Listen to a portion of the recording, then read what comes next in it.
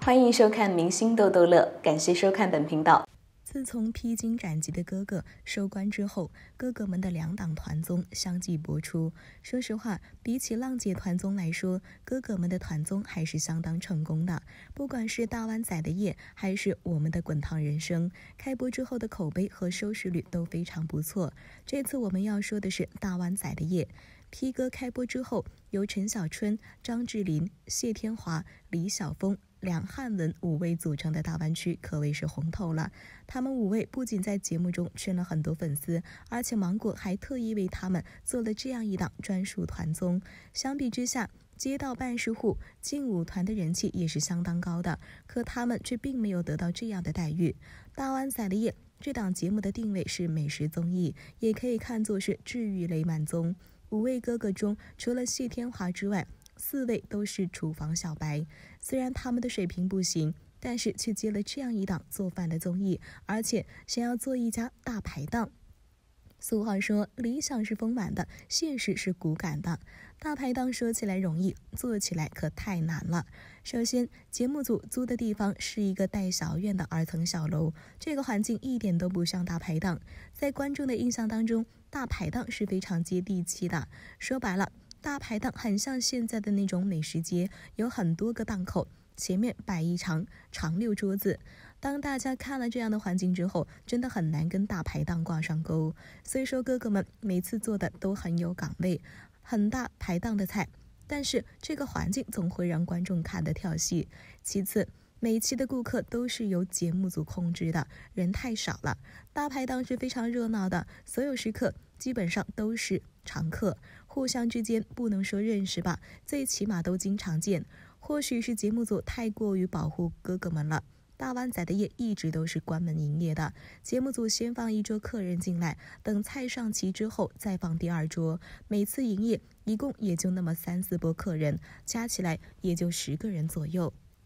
说实话，这个模式还是让观众非常反感的，因为哥哥们再努力，节目都让人看的不真实。不管是什么样的餐厅，大排档也好，茶餐厅也罢，哪有关起门来做生意的？节目组找食客，大家其实也是理解的。什么样的综艺没有剧本安排呢？不过有节目组安排的，也有主动前来吃饭的老百姓，这样才真实呀。在上一期节目中，陈小春的老婆应采儿和张智霖的老婆袁咏仪来到了餐厅做客。两位嫂子的到来真的是让节目直接封神了。为了能给哥哥们制造一些惊喜，应采儿和袁咏仪私自去街上邀请了一些食客晚上来用餐。要知道，他们事先并没有告知哥哥们。以至于上期节目，哥哥们迎来了开门以来最多的顾客。正好上期哥哥们请的食客是之前来过店里就餐的人，也相当于是熟客。有了熟客，再加上应采儿和袁咏仪请来翻台的第二波生客，整个餐厅开始有大排档那味儿了。应采儿和袁咏仪两位是出了名的大嗓门，在两位当店长的时候，也是很好的展现了这一点。话说，两位的大嗓门和大排档还是挺配的。大排档不就是要靠喊的吗？如果所有人都是安安静静的，那岂不是成了高档西餐厅了吗？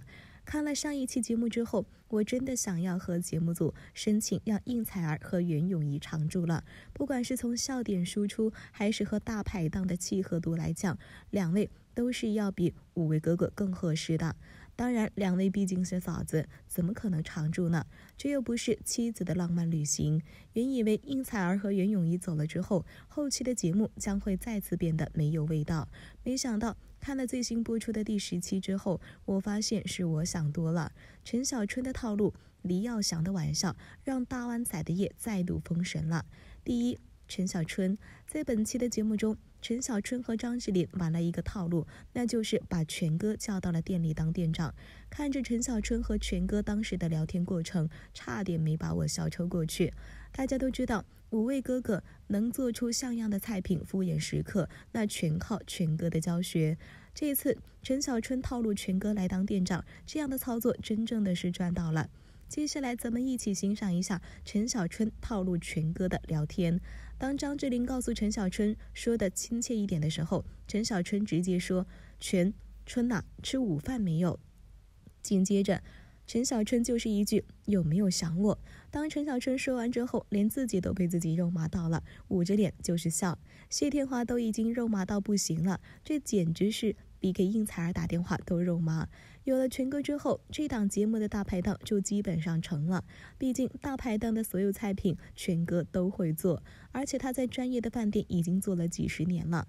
当全哥当了店长之后，张智霖和林晓峰被分配到了厨房做饭，谢天华和梁汉文是楼面，也就是招待客人点菜的，陈小春则是杂工，负责上菜、打扫卫生等一切杂活。全哥这完全是按照正常餐厅的经营模式来操作的，不得不说非常有条理。在全哥的分配之下，这一次营业可以说是做得相当好，井井有条，一下子就让人看到了餐厅该有的样子。毫不夸张地说。按照本期这样的水平，一晚上来十几桌客人也是完全可以应付的，因为这个配置是非常标准的，而且全程还有全哥这个专业的店长把控着大局。有一点可惜的就是，节目组这次只请了那么几位客人，还是有些浪费全哥的。如果哥哥们以后每次营业都能这样，那我真的有些期待节目组全放开的样子。真实的时刻。满桌的客人，那是非常大排档的。第二，李耀祥在这期节目中，节目组请来了李耀祥和邓萃雯。对于李耀祥，相信很多观众还是相当了解的，因为他演过非常多的电视剧，尤其是古天乐和李若彤版的《神雕侠侣》。当时李耀祥在里面饰演的周伯通，说实话。《神雕侠侣》的版本非常多，可你要说周伯通演的最好的，那绝对是李耀祥这一版，真的是太生动了。作为飞行嘉宾，李耀祥其实只要负责吃饭就可以了。不过在吃完饭之后，李耀祥却以没有带现金为由，去和所有桌的食客互动借钱。正是李耀祥和大家开的这个小玩笑，气氛瞬间就起来了。大家可以看到，所有的食客都是善良的，他们都表示愿意借钱给李耀祥，甚至是直接请他吃饭。在这种互动之中，观众看到了大排档的那种彼此之间的熟悉感，可以说非常舒服。李耀祥的玩笑让整个气氛变得很温暖，而且还给节目贡献了很多的笑点。有了这一趴之后，这档节目真的是瞬间好看了很多。大湾仔的夜彻底封神了，因为现在已经越来越像大排档了。如果要是后期有机会的话，真的希望哥哥们能够打开门来营业。大家可以拿这档节目和中餐厅来对比一下，只要有了权哥之后，有什么是比不了的呢？不管是嘉宾阵容还是笑点输出，五位哥哥都绝对不输。